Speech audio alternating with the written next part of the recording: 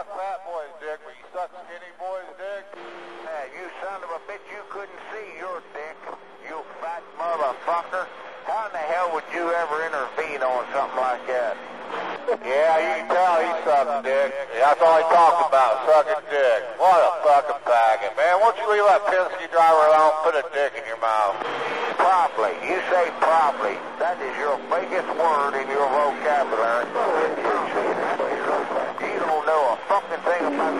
driving a truck. Sitting in that fucking seat, getting skid marks in the underwear, eating that truck stop, getting a shower maybe once every other day, and you fat motherfucker, you want to talk about somebody sucking a dick. You're the one talking about sucking dick, and you must have it on your mind. What I tell you, you fat motherfucker, you in that CFI? Are you in that CFI?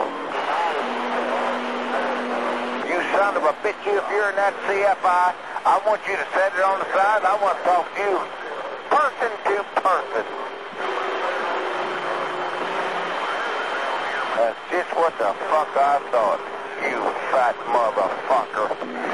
Oh, you little Pee Wee Herman motherfucker. Won't you shut up or somebody kicks your fucking little ass? Turn that little radio off and take your little fucking Pee Wee Herman ass and put it in the bunk before you get a kick. I'm going to give you that opportunity. Now, do you want to take that opportunity to kick my little Pee Wee Herman ass?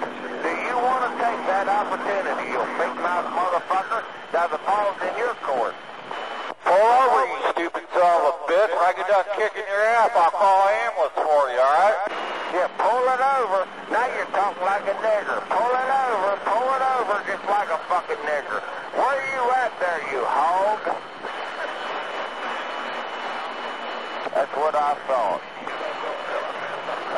Hey, Pee-wee, keep running your mouth. I'm going the other way, but I'm sure somebody will kick your ass keep asking for it long enough. Little smart-ass punk like you will probably get your ass kicked before the night's up. They run their goddamn mouth. Pull it over, pull it over.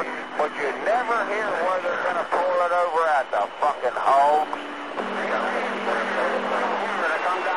Like a fucking nigger. They're fucking, they ain't, they ain't as, they're, they're not as good as a nigger. A nigger's better than them, that fucking white hogs.